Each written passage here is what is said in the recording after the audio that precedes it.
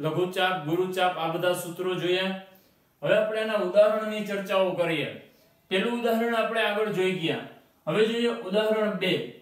ચાર સેમી ત્રિજ્યાવાળા અને કેન્દ્ર આગળ 30 અંશનો ખૂણો બનાવતા વૃતાંશનું ક્ષેત્રફળ શોધો.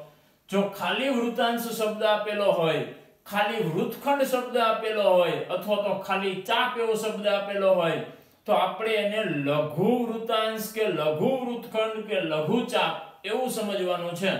જો ગુરુ વૃત્તાંશ વાત આવે, તો અહીંયા ગુરુ શબ્દ લખેલો હશે તો અહીંયા આપણે એની આકૃતિ દોરવી હોય, તો વર્તુળનું કેન્દ્ર ઓ લઈએ.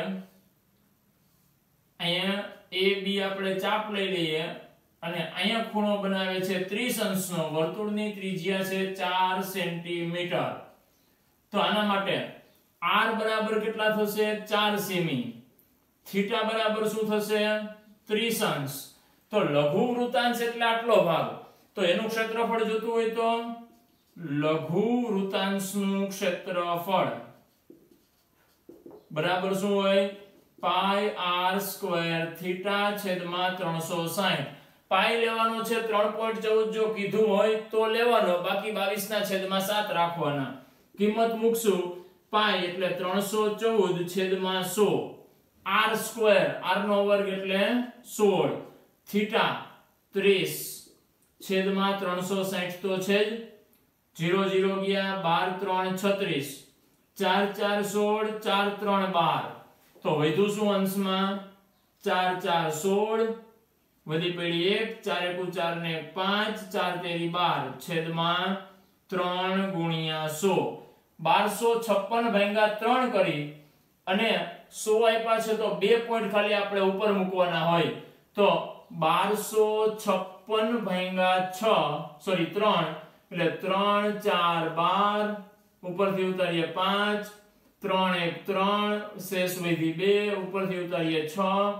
ત્રણ, આઠ, ચોવીસ. શેષ વધશે બે. હવે ભાગની આર એટલે પોઈન્ટ ત્રણ, છ, અઢાર, બે વધશે. ત્રણ, છ, અઢાર છગડો છગડો ચાલતો જ રહેશે. હવે પોઈન્ટ અત્યારે અહીંયા આવે છે. બે ઝીરો હજી છેદમાં છે. તો આગળ આવશે એટલે શું થઈ જશે? ચાર પોઈન્ટ એક આઠ છ. પોઈન્ટ પછી બે આંકડા આપણે રાખશું તો ચાલશે. પણ અહીંયા છ પોઈન્ટ પછી શું આવશે? એક, આઠ, છ છ. આવું આવશે. તો જો ત્રીજો આંકડો પાંચ કે પાંચ કરતા મોટો હોય તો આગળનામાં આપણે એક ઉમેરી શકીએ એટલે થઈ જશે નવ સેન્ટીમીટર સ્ક્વેર. આ શું મળ્યું આપણને લઘુ વૃત્તખંડનું ક્ષેત્રફળ. હવે આપણે જોઈએ છે ગુરુ સોરી લઘુ વૃતાંશનું હવે ગુરુ વૃતાંશનું ક્ષેત્રફળ. જેના આપણી પાસે બે સૂત્રો છે. એક, આના જેવું જ, પણ થીટાની જગ્યાએ શું મૂકવાનું? 360 માઇનસ થીટા. એટલે કે અહીં 30 છે તો 360 માંથી 30 જાય તો 330 આ બધું એમનો, અહીંયા ખાલી 330 મૂકી દઈએ એટલે આપણને આપણો જવાબ મળે. બીજું શું છે? વર્તુળનું ક્ષેત્રફળ પાય આર સ્ક્વેર માઇનસ લઘુ વૃતાંશનું ક્ષેત્રફળ, એટલે કે પાય આર સ્ક્વેર થીટા છેદમાં 360 આપણે યાદ રાખશું, ખાલી ગુરુ વૃતાંશનું કીધું હોય તો આ સૂત્ર મુકાય, એટલે કે 360 માઇનસ થીટા વાળું. પણ જો આપણને બે કીધા હોય તો આનો ઉપયોગ કરાય, કેમ કે આ આપણી પાસે અત્યારે તૈયાર છે. તો આના માટે શું થશે? પાઈ 314 છેદમાં 100 r સ્ક્વેર એટલે 16 માઇનસ, આનો જવાબ તો છે જ 4.19 આનો ગુણાકાર અને બે ઝીરો છે એટલે પોઈન્ટ મૂકવાનો થાય. 16 ચોકુ 64 વધી પડી 6 16 એક, સોળ ને 6 22 વધી પડી બે. સોળ તેરી 48 49 અને 50 છેદમાં 100 છે એટલે અહીં પોઈન્ટ આવશે માઇનસ 4.19 તો આ બેની બાદબાકી એટલે 50.24 માઇનસ 4.19 તેર ચૌદમાંથી નવ જાય તો વધશે પાંચ. એક એટલે ઝીરો. અહીંયા પચાસમાંથી ચાર જાય તો છેતાલીસ. તો જવાબ શું આવશે?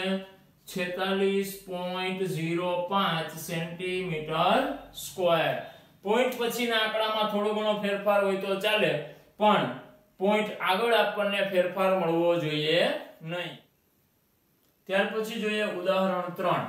એમાં પૂછે, જો વર્તુળની ત્રિજ્યા 21 સેમી હોય અને ખૂણો AOB બરાબર 120 અંશ હોય, તો આપેલ આકૃતિમાં દર્શાવેલ વૃત્તખંડ AYB નું ક્ષેત્રફળ શોધો. તો અહીંયા આપણને આકૃતિ આપી દીધી છે. AYB વાળું વૃત્તખંડ એટલે આનું ક્ષેત્રફળ મેળવવાનું છે. ખૂણો AOB AOB આ ખૂણો 120 અંશનો છે, ત્રિજ્યા એટલી છે 21 સેમી. તો આપણે વૃત્તખંડના ક્ષેત્રફળથી પરિચિત છીએ. વૃત્તખંડનું ક્ષેત્રફળ. વૃત્તખંડ કયું છે? વૃત્તખંડ AYB નું ક્ષેત્રફળ બરાબર શું આવશે? લઘુ વૃત્તાંશ એટલે કે પાય r સ્ક્વેર થીટા છેદમાં 360 માઇનસ ત્રિકોણ AOB નું ક્ષેત્રફળ. આમાં આપણી પાસે ત્રિજ્યા છે થીટા છે. AOB નું ક્ષેત્રફળ મેળવવું પડે. તો આપણે AOB વાળા ત્રિકોણ માટે હું અહીં અલગથી આકૃતિ દોરું. ત્રિકોણ એમાં જેમ આપ્યો છે, એના કરતા આપણે ત્રિકોણને ઉલટાવી દઈએ. અહીંયા ઓ એ બી આ બેના માપ છે 21 21 ખૂણો 120 નો છે. હવે જો આપણે આમાંથી લંબ દોરીએ, તો અહીંયા બે ભાગ સરખા કરશે અને બે ખૂણા પણ સમાન થશે. કેટલા કેટલાના થશે? 60 60 અંશના. જો ત્રિકોણનું ક્ષેત્રફળ જોતું હોય, માનો કે આપણે લઈ લઈએ D, તો ત્રિકોણનું ક્ષેત્રફળ 1 દુત્યાંશ પાયો ગુણ્યા વેધ થાય. આપણી પાસે નથી પાયો કે નથી વેધ. માત્ર ત્રિજ્યા અને ખૂણો આપ્યો છે. તો ત્રિકોણમિતિ ઉપરથી આપણે આ AB અને OD બે મેળવી શકશું. તો આના માટે આપણે આવું કરી શકીએ. જો ત્રિકોણ OAD માં sin 60 sin 60 નો ઉપયોગ કરશું સામેની બાજુ AD છેદમાં કર્ણ OA તો આના ઉપરથી આપણને શું મળશે? AD અને AD નું ડબલ કરશું એટલે થશે AB કિંમત મૂકીએ sin 60 એટલે √3 છેદમાં 2 AD નથી. OA 21 તો AD બરાબર શું થયું? અહીં આવશે 21 √3 છેદમાં 2 આ AD મળ્યા તો AB આખું એના કરતા ડબલ હોય તો AB બરાબર શું થશે? 2AD એટલે બે બે ઉડી જશે. વધશે શું? 21 √3 સેન્ટીમીટર. તો પાયો મળી ગયો. હવે જરૂર છે વેધની. તો વેધ માટે આપણે આ જ ત્રિકોણમાં કોષનો ઉપયોગ કરી શકીએ. કોષ 60 પાસેની બાજુ એટલે કે OD છેદમાં કર્ણ એટલે કે OA sin 60 ની કિંમત 1 દુત્યાંશ. OD મેળવવાના. OA 21 21 અહીં આવશે એટલે OD બરાબર 21 છેદમાં 2 સેન્ટીમીટર. હવે પાયો અને વેધ બે મળી ગયા તો સૂત્રની અંદર કિંમત મૂકી શકીએ અહીંયા. અહીંયા પાઈ આર સ્ક્વેર થીટા છેદમાં 360 માઇનસ, આનું શું થશે? એક દુત્યાંશ પાયો ગુણ્યા વેધ એટલે કે OA ગુણ્યા સોરી OD ગુણ્યા AB આખું. હવે આમાં આપણી પાસે r છે, થીટા છે OD છે અને OA છે. તો એક મેથડ આપણી આ થાય, હવે આની અંદર કિંમત મૂકી શકીએ આપણે.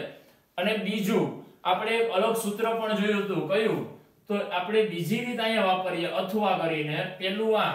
આની અંદર હવે આ બધી કિંમત મૂકતા આપણને આવડે. જવાબ બે નો સરખો જ મળશે. બીજું શું છે? તો કે વૃત્તખંડ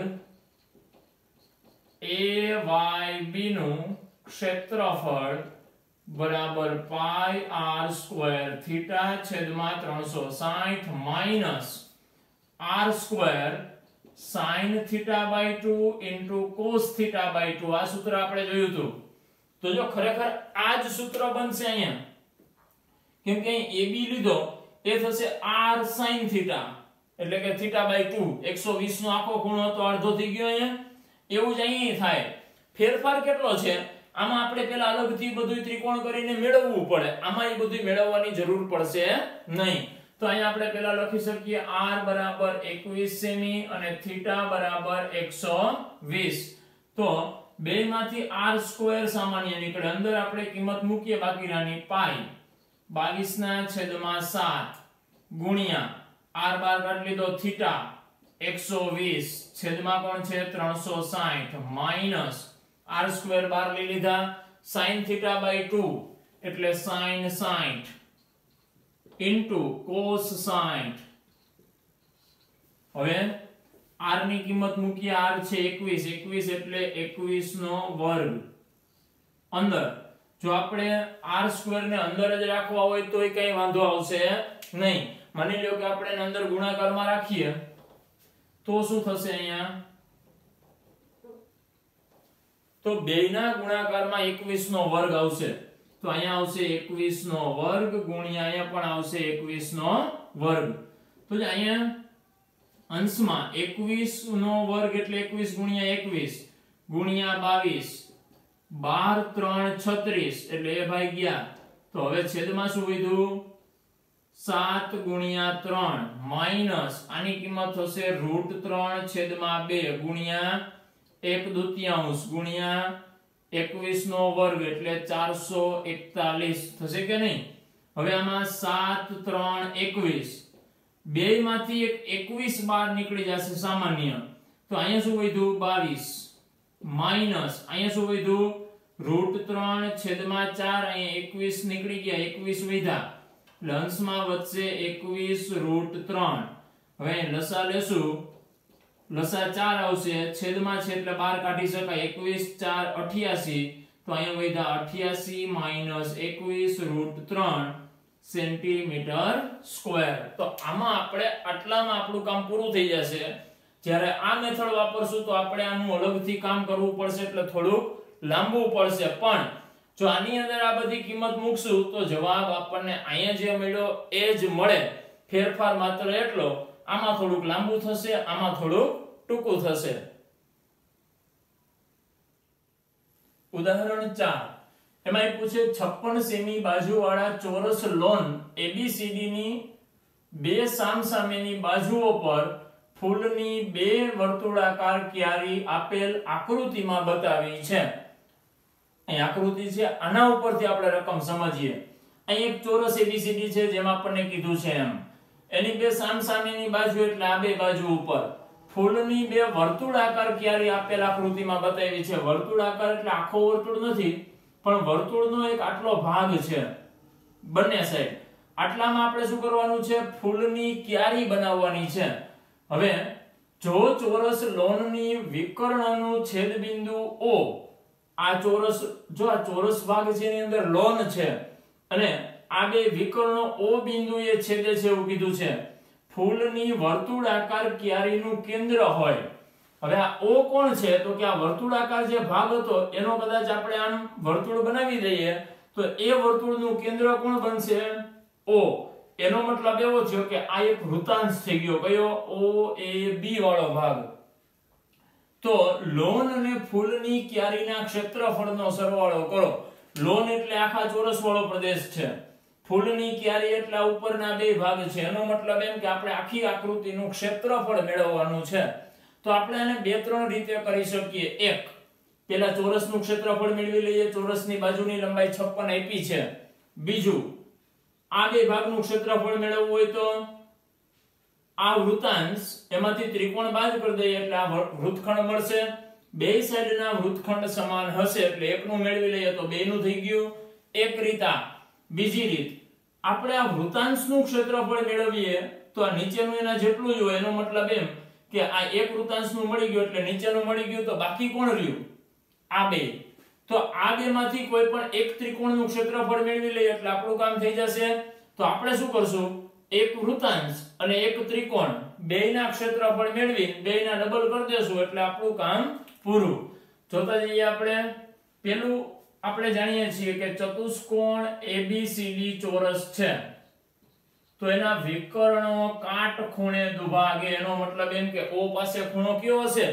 કાટખૂણો. તો લખી શકાય તેથી વિકર્ણો કાટખૂણે દુભાગે. એનો મતલબ એમ કે અંદરના ચારે ચાર ખૂણાઓ કાટખૂણા થાય. તો ચારે ત્રિકોણ કાટકોણ હોય તો જો આ એક ત્રિકોણનું મળી જાય તો આ બે નું થઈ જશે. કાટકોણ ત્રિકોણનું ક્ષેત્રફળ શું હોય? કાટખૂણો બનાવતી બે બાજુનો ગુણાકાર. પણ આ બે બાજુ મેળવવી હોય તો? તો જો આ વૃતાંશ છે એના માટે તો આ ત્રિજ્યા થશે. તો આ બે નામાં પારદ થશે કે નહીં? તો આ એક માં આપ્યું છે, એની ઉપરથી r મળી જાય. એટલે બે માટે આપણું કામ થઈ જશે. તો આપણે લખી શકીએ ધારો કે OD સોરી OA બરાબર OD બરાબર R છે. તો ત્રિકોણ AOD માં.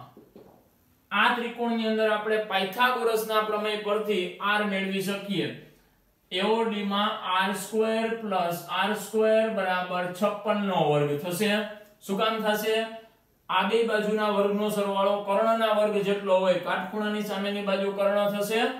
તો અહીંયા શું થઈ ગયું હવે? 2r2 બરાબર 56 ગુણ્યા 56 બગડો જશે છેદમાં. 28 2 56 થાય તો r2 બરાબર શું આવ્યું? 28 ગુણ્યા 28 ગુણ્યા 2 એવું લખાય? બે સાઈડ વર્ગમૂળ લેશું તો 28 બે વખત છે એટલે એક વખત. બે નું વર્ગમૂળ ના નીકળે એટલે √2 સેન્ટી સોરી મીટર આપણને અહીંયા મીટરમાં માપ આપ્યું છે. તો ત્રિજ્યા અને ત્રિકોણ માટેની બે બાજુઓ મળી ગઈ. હવે આપણે આ બે ત્રિકોણનું ક્ષેત્રફળ પેલા મેળવી લઈએ. તોય ચાલે અથવા તો સીધી બધાની કિંમત મૂકશું, તોય ચાલશે. તો આપણે લખી શકશું હવે, માગેલ પ્રદેશનું ક્ષેત્રફળ. તો માગેલો પ્રદેશ એટલે પેલા તો આ આપણે કઈ રીતે મેળવશું? તો કે આ વૃતાંશ નીચેનો વૃતાંશ અને આ બે ત્રિકોણનો સરવાળો. તો એક વૃતાંશ ગુણ્યા બે કરી દેશું તોય ચાલશે? એટલે બે ગુણ્યા વૃતાંશ ઓ એ બી નું ક્ષેત્રફળ વત્તા બે ગુણ્યા ત્રિકોણ એ ઓ ડી નું ક્ષેત્રફળ. આ ત્રિકોણ અને આ ત્રિકોણ સમાન હોય. એટલે બેયના ક્ષેત્રફળ સમાન હશે એટલે બે ગુણ્યા કોઈ પણ એક ત્રિકોણનું ક્ષેત્રફળ થશે. બે ગુણ્યા આના માટે શું થશે? પાઈ આર સ્ક્વેર થીટા છેદમાં 360 વત્તા બે ગુણ્યા આનું ક્ષેત્રફળ એક દુતિયાંશ કાટખૂણો બનાવતી બાજુ ઓએ અને ઓડી એટલે કે આર ગુણ્યા આર હવે આપણે જાણીએ છીએ થીટા બરાબર શું છે? 90 કેમ કે અહીંયા કાટખૂણો જ બનશે બધે. હવે કિંમત મૂકશું. તો જો અહીંયા r સ્ક્વેર છે, અહીંયા r ગુણ્યા r એટલે r સ્ક્વેર થઈ જાય. બગડો માં છે, તો 2r સ્ક્વેર સામાન્ય નીકળશે. અહીંયા વધ્યા પાઈ પાઈ આપણને કઈ લેવાના નથી કીધા, એટલે 22 ના છેદમાં 7 ગુણ્યા r સ્ક્વેર 12 એવા થીટા 90 છેદમાં 360 સોરી પ્લસ સામે શું વધ્યું? r સ્ક્વેર નીકળી ગયા 2 નીકળી ગયા 1 દૂતિયાંશ વધ્યા. સાદું રૂપ આપીએ 9 4 36 11 2 22 2 2 4 હવે અહીંયા આર સ્ક્વેરની કિંમત મૂકશું એટલે શું થશે? બે ગુણ્યા આર એટલે આર સ્ક્વેર એટલે આ જ હતું. જો 28 28 અને બે. તો આપણે આમે લખી શકીએ 28 ગુણ્યા 56 થશે? અંદર શું વધ્યું? 11 ના છેદમાં 7 2 14 વત્તા 1 દુતિયાંશ. આનો આપણે લસા લઈએ. તો શું આવશે? અહીંયા આવશે બે ગુણ્યા ભાગ 28 ગુણ્યા 56 ગુણ્યા. આનો લસા આવશે ચૌદ, એટલે છેદમાં ચૌદ આવશે. અંશમાં શું થાય? 11 અને સાત વડે ગુણવા પડે એટલે 11 ને 7 18 તો અહીંયા આવશે અંશમાં 18 જો લસા કઈ રીતે લેશું? 11 છેદમાં ચૌદ વત્તા, અહીંયા સાત ઘટે છે એટલે સાત વડે ગુણવા પડે. 11 ને 7 18 છેદમાં 14 14 2 28 તો વૈધુય બધાનો ગુણાકાર કરીએ એટલે આપણને જવાબ મળે. તો જો 2 2 4 56 ગુણ્યા 4 6 4 24 વધી પેઢી 2 5 4 20 ને 2 22 ગુણ્યા 18 0 224 8 4 32 નો બગડો, વધી પેઢી 3 8 2 16 17 18 19 8 2 16 ને 1 17 2 9 ને 4 13 નો તગડો, સાત આઠ નવ દસ, વધી પેઢી એક. કેટલા આવશે? 4032 સેન્ટી, સોરી, મીટર સ્ક્વેર. તો આ મળ્યું આપણને આપણું ક્ષેત્રફળ ખાસ ધ્યાન રાખવું, કોઈ પણ રીતે આને આપણે ગણશું, દરેક વખતે જવાબ આપણો આ જ રહેશે. ત્યાર પછી આપ્યું છે પ્રશ્ન નંબર પાંચ. એમાં પણ એક આકૃતિ આપી છે. ચોરસ છે, એની અંદર ચાર વર્તુળ છે. તો આ ચાર વર્તુળ સિવાયનો જે રંગીન પ્રદેશ બતાવેલો છે, એ રંગીન પ્રદેશનું ક્ષેત્રફળ મેળવવાનું છે એની અંદર. તો એમાં શું કરશું? જો આ બધી આકૃતિઓ સંયોજિત આકૃતિઓ કહેવાય, એટલે કે માત્ર એક જ પ્રકારની આકૃતિ નથી. કોઈ પણ બીજી આકૃતિઓ ભેગી છે, એટલે કે ચોરસ અને વર્તુળ. અહીંયા શું હતું? ચોરસ અને વર્તુળનો એક ભાગ. આ જ રીતે આપણને ત્રિકોણ અને વર્તુળ આવી સંયોજિત આકૃતિઓ પણ આપી શકે તો એ બધાયના ક્ષેત્રફળ આપણે જાણીએ જ છીએ તો એનો ઉપયોગ કરીને આરામથી મેળવી શકાય. શું કીધું છે? આપેલ આકૃતિમાં દર્શાવ્યા પ્રમાણેના 14 સીમી બાજુવાળા ચોરસ. ચોરસની બાજુની લંબાઈ આપી છે 14 ચોરસ કયો છે? ABCD માં આવેલ રંગીન પ્રદેશનું ક્ષેત્રફળ શોધો.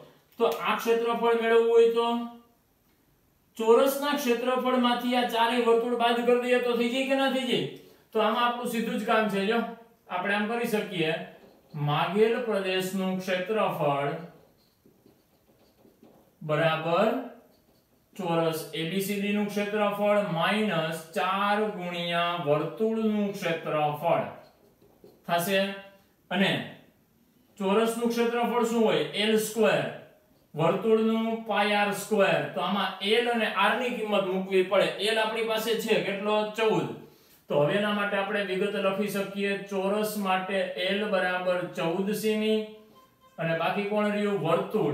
તો વર્તુળ માટે શું થશે? જો એક વર્તુળ છે, એનો વ્યાસ બરાબર વચ્ચે હોય. અહીં અડી જાય છે એટલે આનો પણ વ્યાસ લઈએ. તો જો આખે આખું શું થશે? આના જેટલું જ માપ થશે. તો ચોરસની લંબાઈમાં બે વર્તુળ આવી ગયા. એનો મતલબ એમ કે આના માટે લખી શકાય, વ્યાસ બરાબર L ના છેદમાં 2 આખી લંબાઈ કરતા ચોરસનો વ્યાસ અડધો હોય. આપણે જોઈ શકીએ છીએ, જો. આ એક ચોરસનો વર્તુળનો વ્યાસ, આ બીજા વર્તુળનો વ્યાસ.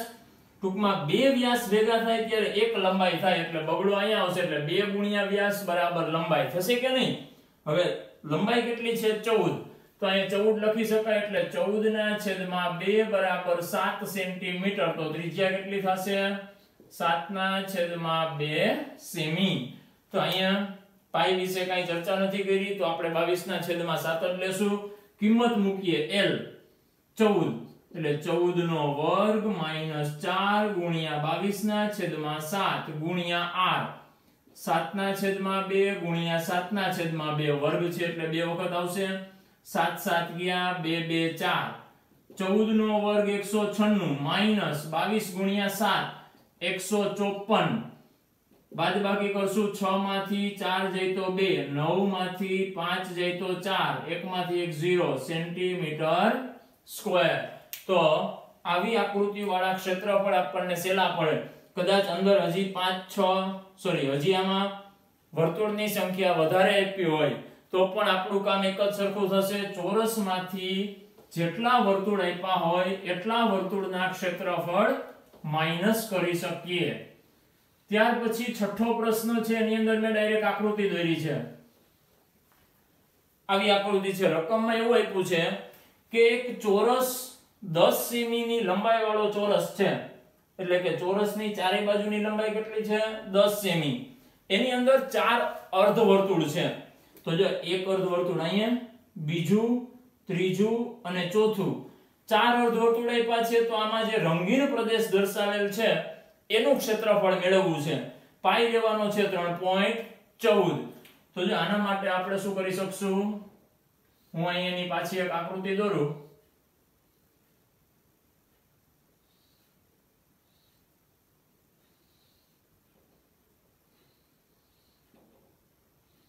માની લો કે આ એ જ આકૃતિ છે. તો આને આપણે અમુક ભાગમાં વિભાજિત કરીએ. 1 2 3 4 5 6 7 અને 8 આપણે આમાંથી ક્ષેત્રફળ મેળવવું છે કોનું? તો કે આ ચાર પાખડી જેવો ભાગ દેખાય છે એનું.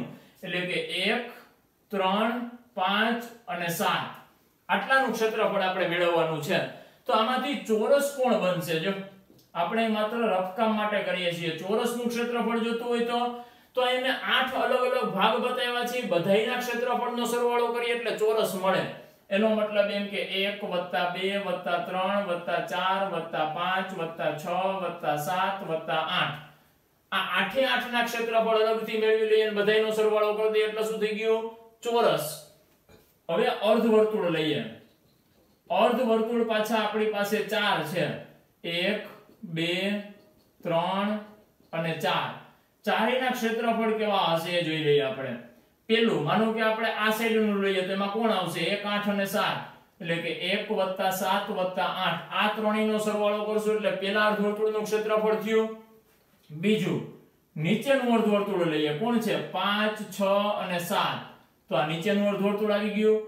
આ સાઈડનું લઈએ. કોણ છે? ત્રણ, ચાર, પાંચ. એટલે કે ત્રણ પ્લસ ચાર પ્લસ પાંચ.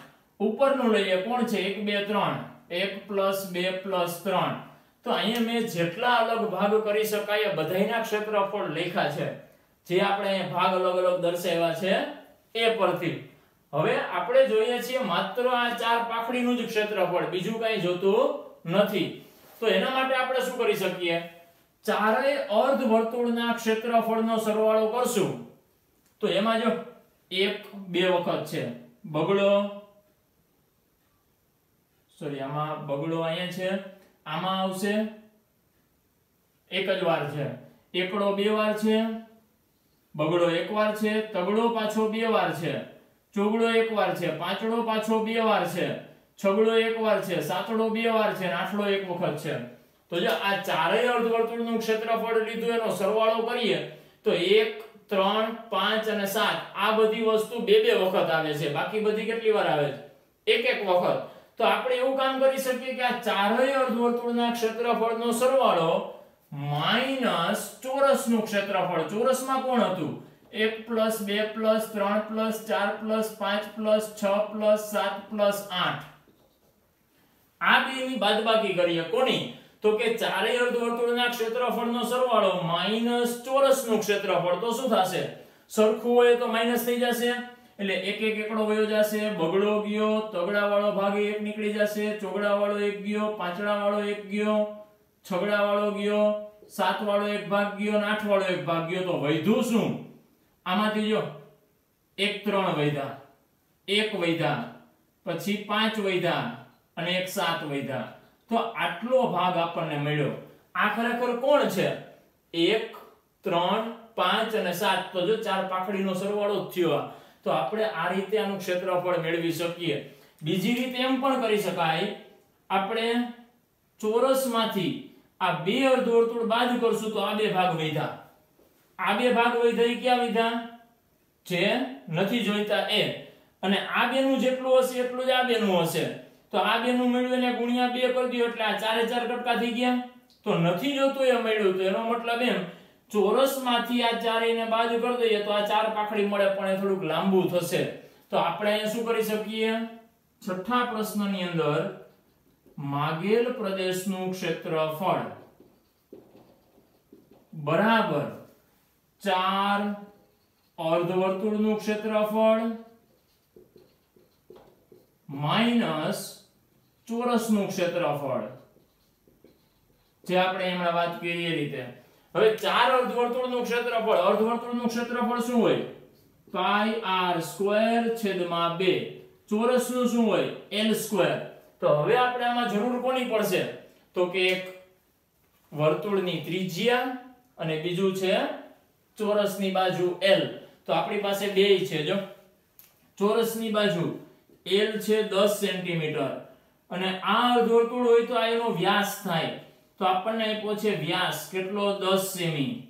તો આના ઉપરથી ત્રિજ્યા કેટલી થશે? 5 સેમી. તો બે માપ આપણી પાસે છે. મૂકી શકીએ. અહીંયા બે બે, ચાર. તો વધુ શું? બે ગુણ્યા પાઈ લેવાનો છે 3.14 એટલે પાઈ ની જગ્યાએ આવશે 314 છેદમાં 100 r સ્ક્વેર. r 5 છે. 5 નો વર્ગ થશે 25 માઇનસ l સ્ક્વેર. l કોણ છે? 10 10 નો વર્ગ 100 25 બે 50 એટલે અહીંયા વધ્યા બે. 314 ભાગ્યા બે બે એક બે બે પાંચ દસ, બે સાત ચૌદ, એકસો સત્તાવન માઇનસ સો. કેટલા આવશે? સત્તાવન સેન્ટીમીટર સ્ક્વેર આને સમજવામાં ખાસ ધ્યાન રાખવું પડશે. પ્રશ્ન આપણો આટલામાં જ પૂરો થઈ જશે, જો. પણ આ કઈ રીતે મૂક્યું એ અગત્યનું છે? આના માટે આપણે શું કર્યું? મેં પેલા એ બધાને ક્રમ આપી દીધા. ચોરસનું ક્ષેત્રફળ હતું, એના જેટલા ભાગનો સરવાળો કરવો પડે એ લખો. અર્ધવર્તુળ ચાર હતા, ચારેયના અલગ અલગ લેખા. આ માત્ર સમજવા માટે આપણે કામ કર્યું છે. આ વર- અર્ધવર્તુળના ક્ષેત્રફળના સરવાળામાંથી ચોરસનું ક્ષેત્રફળ બાદ કર્યું, તો આપણને આ ચાર જ ભાગ વધે છે જો, જે આપણે મેળવવાનું છે. તો આપણો પ્રશ્ન અહીંયાથી ચાલુ થાય. માગેલ પ્રદેશનું ક્ષેત્રફળ ચાર, અર્ધવર્તુળનું ક્ષેત્રફળ માઇનસ ચોરસનું ક્ષેત્રફળ કિંમત આપણી પાસે છે.